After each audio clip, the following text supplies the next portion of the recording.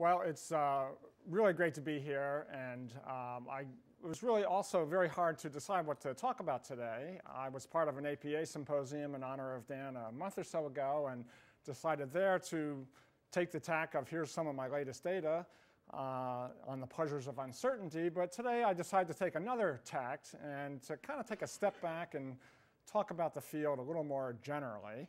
Uh, some things I've been thinking about and coincidentally just published in a book that came out yesterday. So it's my opportunity to tell you about some of that. What are we doing anyway? Well, the we in this that I'm referring to are we as psychologists. That um, uh, uh, Dan, I can't see this on the screen here. Does that really matter? No. Not to be. ah, there we go so I don't have to keep straining my neck. Thank you. We'll get this right by the end. Now, these questions about what are we doing um, is reminiscent of one of my favorite theories of Dan's and Robin Vallacher's, namely action identification theory, which is all about uh, how we identify our actions to ourselves. And the theory talks about how we can do so at many different levels of analysis. And the level at which we do so is very important to meeting our goals and our well-being and so on.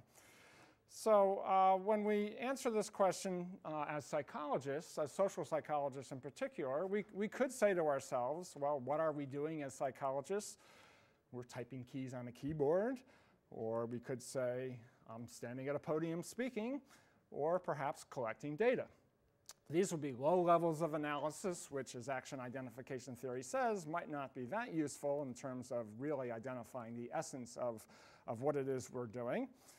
And I suspect if I were to poll the people in this room who are research psychologists, I might get answers more along these lines, that what we are doing as an enterprise or individually is experiencing the joy of discovery, uh, we hope that those things we're discovering are important, or we're having fun. And uh, as Dan Gilbert alluded to, I, in my observations of Dan Wegner over the years, um, I think I've never seen a psychologist who embodies this last one as much, who enjoys what he does, as well as making very important discoveries along the way. One of my favorite pictures of Dan, he has such fun, he can make the Hindenburg fly again. Uh, but there is such a joy to his work that, that uh, it's really an inspiration.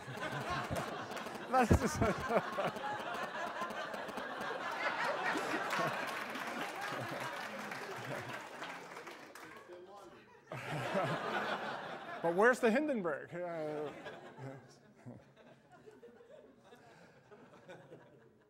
But, uh, but there is another uh, way we could identify our actions, and that is one that I think is perhaps distinctive more to social psychologists, and certainly not to all of us, nor need it characterize all of our work, but it's one that um, the field of social psychology has certainly talked about over the years, that what we're doing actually has some importance to improving people's lives.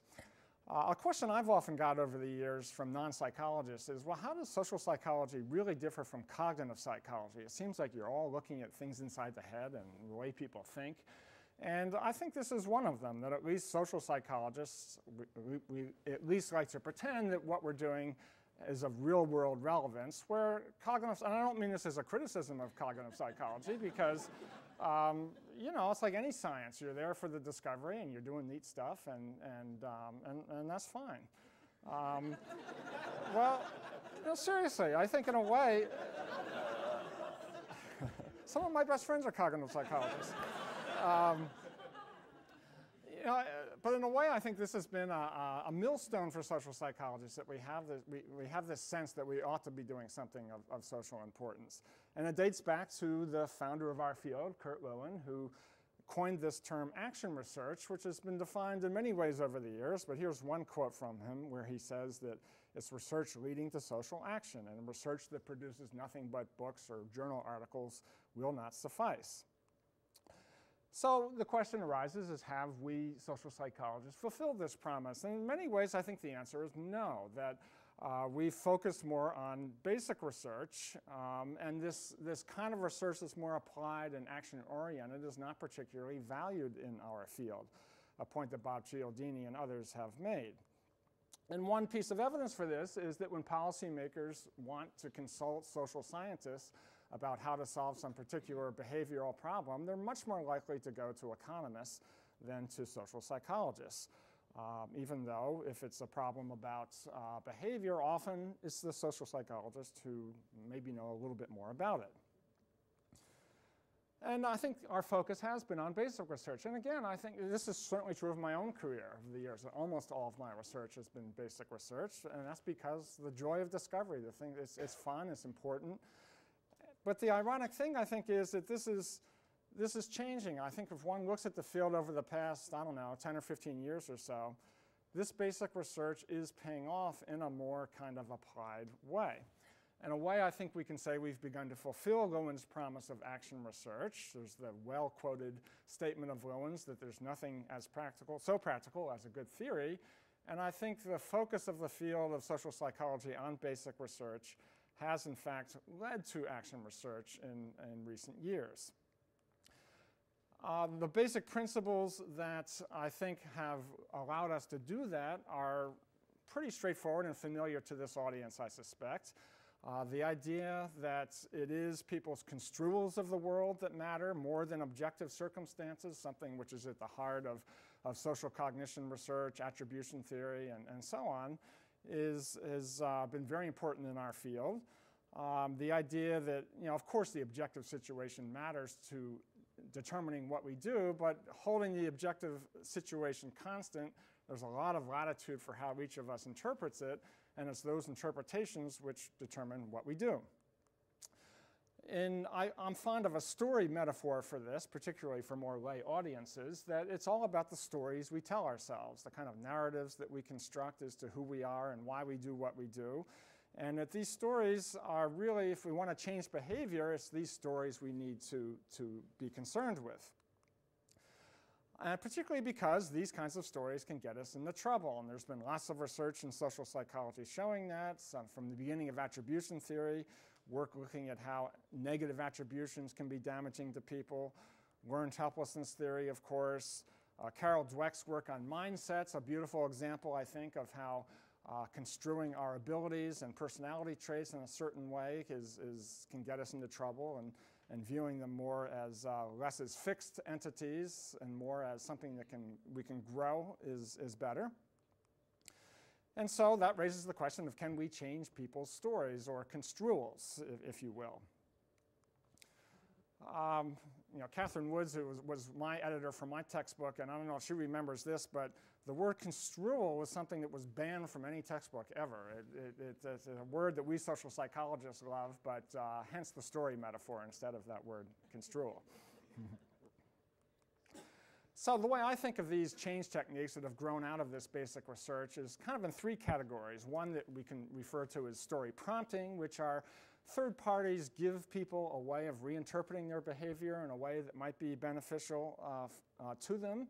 Uh, second, um, do good, be good, which is basically self-perception theory, that sometimes the best way to change people's interpretations is to change their behavior first and let the interpretations come later. And second, uh, or third rather, um, writing exercises such as pioneered by Jamie Pennebaker that are ways of reinterpreting uh, what we do and why we do it. Each of these gets people to edit their stories, and there are an increasing number of examples of how this can lead to sustained change in behavior. So in the remaining uh, time I have, I'm just going to whip you through four examples of this, and I won't have time to give you a lot of details, uh, but of how these kind of story editing approaches, if you will, have been used. Uh, dating back to some of my very early research, um, looking at college students who were not doing well academically and we wanted to see if we could intervene in some way to help them uh, do better. And um, we did a very simple attributional retraining intervention where we brought people in for about 30 minutes and just gave them information suggesting that uh, that maybe the causes of their problems were things they could change. They weren't necessarily due to the fact that they were unintelligent or couldn't make it at college. And indeed, uh, I must say, much to our surprise, um, that this has some pretty um, dramatic long-term effects. The people who got this versus a control group uh, did better academically in terms of grades and were less likely to drop out of college in the uh, upcoming year. Uh, there are examples outside of our field, or at least ones that aren't traditionally thought of as kind of cognitive social psychology, that I think can be put in the same uh, category. And one that some of you may know the researcher of Daphne Bugental. It's a lovely series of studies on how to prevent child abuse with basically an attributional intervention. She does uh, looks at parents who have newborn children who are at risk for child abuse due to their socioeconomic class or their own personal history. And through a series of year-long home visits, a home visitor basically retrains the parents' attributions. Uh, something that she has and others have discovered that parents who do abuse their children have a strange pattern of attributions where they blame the kids for acting up. If their child is fussing, uh, they often say things like, oh, that child, he's out to get me, or he's mad at me, or, or something along those lines.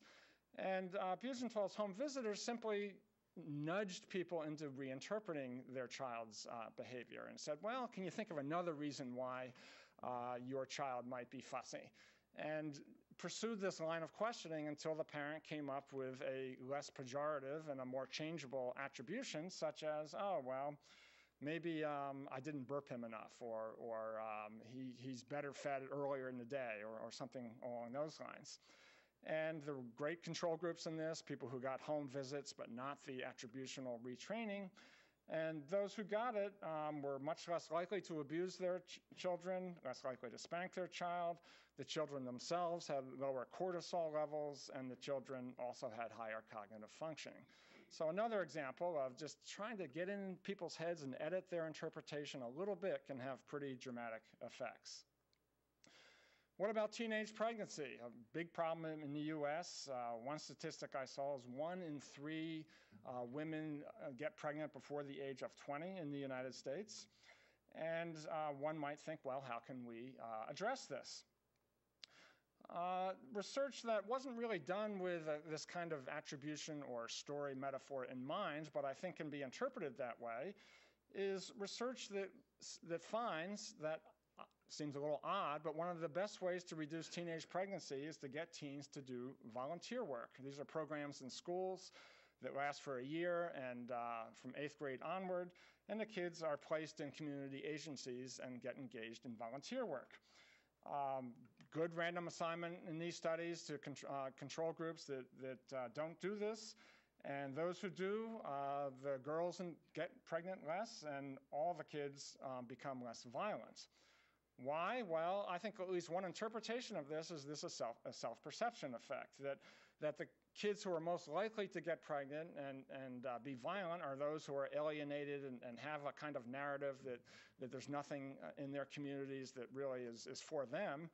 And the volunteer work does, there's a little bit of evidence for this, does change that narrative to one that uh, where they feel more engaged and connected and uh, as a result, uh, act in less risky ways.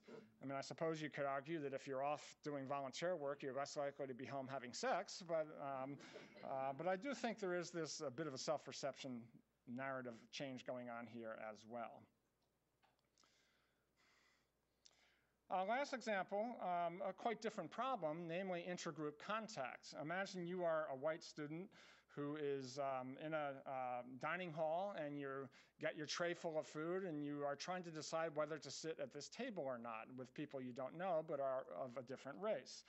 And there's um, research by Nicole Shelton and others that suggests that if we're a white student, we're reluctant to initiate these kinds of, of interactions. Robin Mallett and I did some research to see if we could change those expectations. Well, let me back up a step.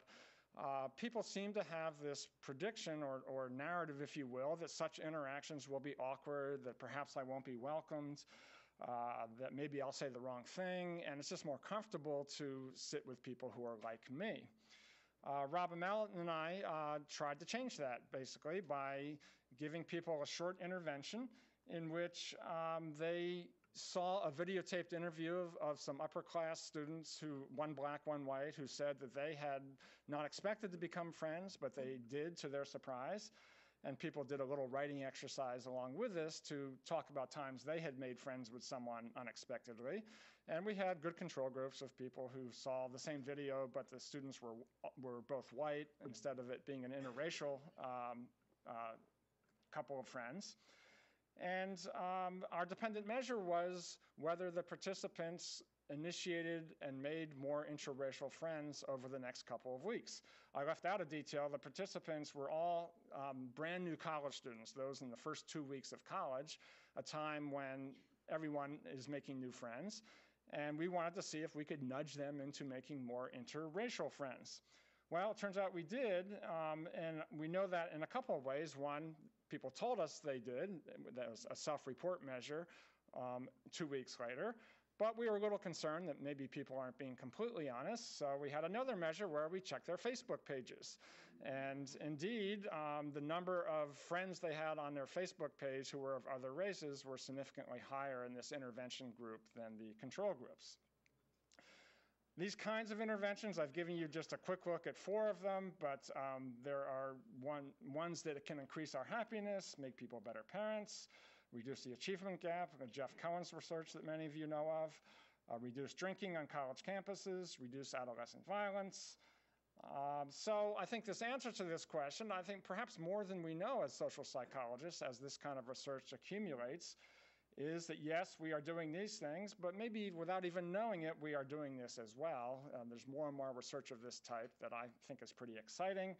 And for my plug, there's the cover of my book. Um, thank you very much.